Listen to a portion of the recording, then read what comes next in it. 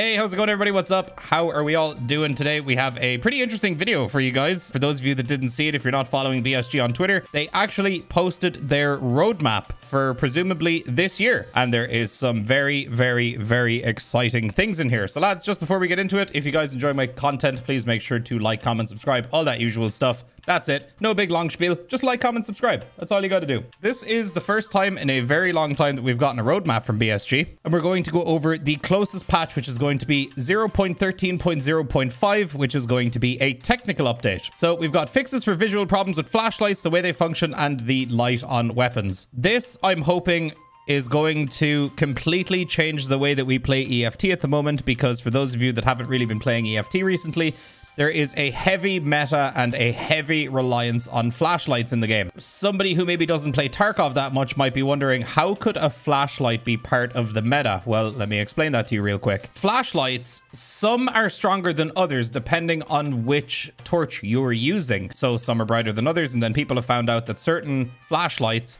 actually damn near blind a PMC when you are shooting at them. So what a lot of the fights in Tarkov have become is two people shining flashlight each flashlight at bleh, flashlights at each other. Why can't I say that? Basically, you can't see each other, so you're just kind of wildly spraying at each other and hoping that you know you kill the guy first. It's really obnoxious. It really sucks, and it's every single fight is pretty much like this. So I would love to see this get reduced put the flashlights back to the way they were before, where you could just use them to see people, but it wouldn't completely blind somebody if you were aiming at them. And I know there's going to be people that are going to say, but Tweak, in real life, if you have a tactical flashlight and it's 700 million lumens, you're going to blind your guy. You won't be able to see you. Dude, it's a video game. It's really annoying. It's not fun. And it's a trash meta. This is the most frustrating meta that we've had since like the KS23 and like the one-tap Mosin chest shot meta. This sucks. So I'm really hoping this changes. Moving on from that, before I ramble even more on it, rework of Sky on all locations. So we're going to get a new Skybox on all maps, which is cool. Oculus audio tweaks on Interchange and Lighthouse. I am desperately awaiting the update on the Interchange audio because Interchange, after that lighting update, is so much more playable all interchange needs now Oculus audio that actually works and we have decent culling between the levels so we can tell where people are. If somebody's on the top floor, I shouldn't have to wonder if they're in the basement below me or above me. Hopefully they get that fixed and interchange can be returned to its former glory. Maybe a little buff to Kiba, maybe a little buff to Ultramed, maybe another few little additions here and there to make the map actually populated by people because interchange PvP is still some of the most, just the, the most fun PvP that I have had in Tarkov. So I really hope interchange gets fixed. We've also got changes in the headset system. So again, this is going to be a meta changing tweak to the game. I'm assuming they're going to adjust all the Comtacs and how they work. So I'm really excited for that. I'm curious to see what they're going to do with that. Changes in the AI voice line playback system, in particular their frequency, volume, and positioning. Maybe a scav will sound actually further away because sometimes in scav's voice line, they sound very close, but they're actually pretty far away. And then locationally being able to determine where they are. Fixing incorrect sound and volume of gunshots and explosions at short distance distances. So hopefully, again, this will allow us to better gauge the distance that we're hearing gunshots at. So it's not like, oh, that sounds really close, but actually it's on, you know, the opposite side of the mall outside in the bush. So that's going to be nice. Also, fixes for incorrect movement of bots in the prone position. So I'm guessing this is just, we're not going to have like slug sniper scav like leaning over the railing and he's going to like, looks like he's going to fall down or whatever. I don't know. This is going to be a really big one. So we've got the transition to Unity 2021. I thought this had already happened in like the last patch that we got. I thought we got this already. The transition to Unity 2021, it'll allow the introduction of new technologies aimed at optimizing and updating graphics, including support for HDR, reducing memory consumption by optimizing the memory usage of locations and items. So lads, obviously updating from Unity 2019, Unity 2020, is that where we're on now? To Unity 2021, it's only going to be getting better and better and better and better. So hopefully we get a massive slew of fixes when 2021 comes in. Uh, a lot of people don't understand that a lot of the things that are really wrong with Tarkov right now are actually not really the fault of the devs, but rather limitations imposed by the engine. And then, of course, you know, it's also going to bring a slew of new bugs because of the old code that they're trying to root out and stuff. So it's this whole thing. So hopefully the transition to 2021 goes smoothly, and I'm excited to see what happens with that. We've got update 0.13.1.0, which is another technical update. We've got some fundamental changes to the architecture of display and synchronization of players on the client and their connection to the server. This is nuts, including gradual increase in the number of players and bots in a raid to 60. I'm going to take a wild guess and say that this is only going to be the fully expanded version of Streets of Tarkov is going to hit the 60 player count, whereas smaller maps like Customs are going to have a much lower number than that. Otherwise, it would just be chaos every single raid that you're in. Not that that wouldn't be fun. You imagine loading into Shoreline or Interchange with 59 other players? Bruh, be a bloodbath. It'd be so much fun. We've also got improving hit registration, which is always nice. The hit reg in Tarkov is a little bit spotty, to say the least. Increase in accuracy of positioning, so position matching of players on the server and the client. So this is really, really, really important. This actually happens mostly with streamers, because if we kill another streamer, we can watch back their perspective, and then we can watch back our perspective. That's where you can tell just how bad the desync is in some places. I got killed by LVNDMARK a couple of weeks ago. When I watched it back in his point of view compared to my point of view, he basically wasn't even on my screen when I died. That's a good like illustration of the current state of like desync in the game. So anything to further improve that very nice. Very good. Noticeable increase in FPS in online raids. Always good. Reduce the chance of encountering the desynchronization with the server.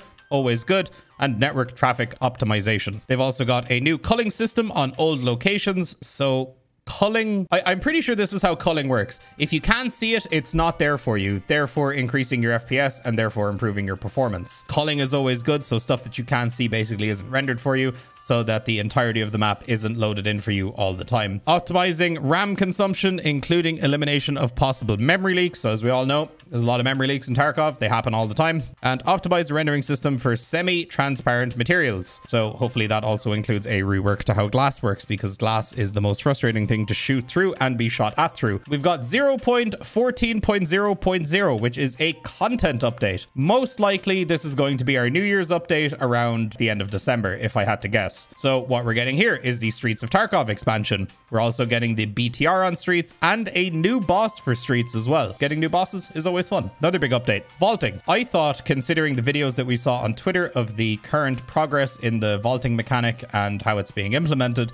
that we would be getting it much sooner than the end of the year. But unfortunately, it looks like this is only going to be coming with the Streets of Tarkov expansion. Also, armored plates for body armor and rework of hitboxes. This is going to be really nice because it's going to completely change the meta and how you loot things and how you take things off other players. Rather than taking their entire rigs, you simply remove their plates. So that's going to be really nice. It's going to streamline the whole looting process a lot. We've also got kit presets. Thank God. It's going to be so nice. You click one button, equips a kit, buys it all from the traders or the flea market or whatever. That's going to be really nice. Weapon animations when interacting with cover. Our current system's a little bit dated. You can still use it and it's still definitely very effective in certain situations but most people don't use it. So maybe with this introduction of the new system, more people will try and use it. We have also got left shoulder shooting. So this is going to be, you know, in Counter-Strike where you can swap your view model to be on your left or your right shoulder. Except in Tarkov, this is actually going to have a massive bearing on how you play out a fight because there isn't going to be such a thing as left-hand peeking or right-hand peeking anymore. Because now if you want to do a left-hand peek, you simply shoulder swap and you're going to be exposing less of your body.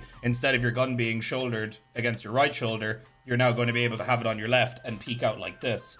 So this is going to effectively remove the entire meta of the game right now, which is to crouch and, crouch and hold a right hand peek and wait for somebody to push you. If you miss your shot, you back off and you find another right hand peak to hold and you crouch and then when they come by you kill them. And if they don't die you reposition again to another right hand peak somewhere else. And it's this never ending cycle of just boring bullshit gameplay. So now you're going to be able to hold left hand peaks right hand peaks all the same and it'll hopefully make the game a little bit more enjoyable when it gets to those sweaty pvp battles. We're also going to have a hideout expansion which is always nice. Love to see new things in the hideout all the time. Randomized loot containers. So i'm hoping that this means that all of the crates in the game are all completely randomized and everything that you find in one crate can be found in another because that'll just make things more fun and more dynamic when you're looting things. Maybe except for weapon crates and ammo crates and stuff like that, but every other box, I'd love to see everything just be randomized. It's not, these boxes have tech stuff. These boxes have medical loot. These boxes have X. It's like you can just go and loot a box and it might have just a random assortment of everything in it, which I think would just be more fun Because in a post-apocalyptic environment, who's out here organizing the boxes like it's in a Rust base or like in Minecraft? Like nobody's organizing shit. They're just throwing everything into whatever box it'll fit in. You know, it makes more sense. We've also got a rework of recoil mechanics of all weapon types. So this is going to completely turn the whole scape of recoil in the game completely on its head, considering now we've just had flat reductions of recoil all across the board. Now it's going to be a rework for recoil mechanics of all weapons. So I guess we'll have to wait and see what that means. We haven't seen it yet, so I can't comment it. We've also got quick pistol transition. So this is the ability to drop your gun onto a sling and then pull out your sidearm faster than reloading, presumably. However, I don't see this being used too much unless you're rocking an RSH-12 on your hip. We've also got suppressor durability, sound variations, and subsonic ammo. Not really sure what this means. This is just kind of three words, just kind of thrown out there. Like suppressor durability, yes, I understand that, but like sound variations and subsonic ammo. Is this like sound variations for subsonic ammo types or something so that everything doesn't sound the same? Like every bullet has a different sound to it? Probably. I don't know. We've also got an ammunition loading interface. So hopefully an ammunition loading interface means that you can choose the bottom 10 rounds of your mag and then, you know, you can like save presets for what kind of rounds you want to go into your mag and in what order. You'll be able to set your top 10 or 20 rounds to armor penetrating rounds, and then maybe the lower would have still armor pen, but like maybe higher flesh damage or something like that. We're also going to have sight brightness adjustments, so hopefully this will mean that we can actually use optics in nighttime raids, even though I know it's not realistic. Holy shit, it's a game. I know, I'm aware. Also, user interface rework, so the whole user interface is going to be completely reworked, so that's something awesome to look forward to at the end of the year. We're also going to have a major quest rebalance, which I think is massive massively needed right now with all of the new quests put into the game. And considering how quickly we progress through the quests, I think there could be a big rebalance of quest rewards, XP, and soft skill XP and stuff like that, which would be nice. We've also got a rebalance of levels, skills, and mastering.